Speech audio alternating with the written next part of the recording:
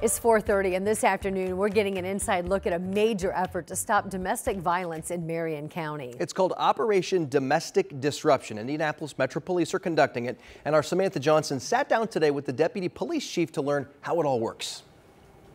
This is the fifth time Metro Police have conducted Operation Domestic Disruption, and this time around they say they targeted around 30 of the most violent offenders here in Marion County.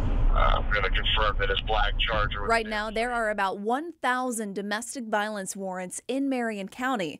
That's according to Deputy Chief of Police Kendale Adams. The people we're targeting are very dangerous people. And those people are often linked to other serious crimes and are likely to strike again offenders will reoffend. Uh, up to 60% of offenders will reoffend. If they're not stopped. So that's why, for the fifth time in just two years, Metro Police conducted Operation Domestic Disruption with the goal of tracking down the most serious and wanted offenders. Uh, warrants that have deadly weapons, warrants with serious bodily injury, warrants with strangulation, so far, Metro Police have found 18 wanted offenders. Chief Adams says for the others, the best thing to do is turn yourself in. Doesn't mean they're guilty, but it does mean they need to account for it. But finding these people is only part of the operation. It's also about supporting their victims. So that victims can begin to break the cycle. With the support of community partners, Chief Adams says help is available.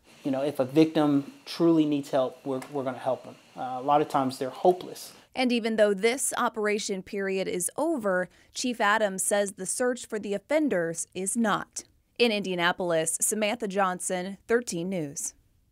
Sam, thank you. IMPD started these operations after seeing a rise in domestic violence during the COVID-19 pandemic. It is the second one this year, and Chief Adams says he expects several more next year as well. Now, if you or somebody you know needs help, you can find a list of local resources. We've got them all right now at WTHR.com.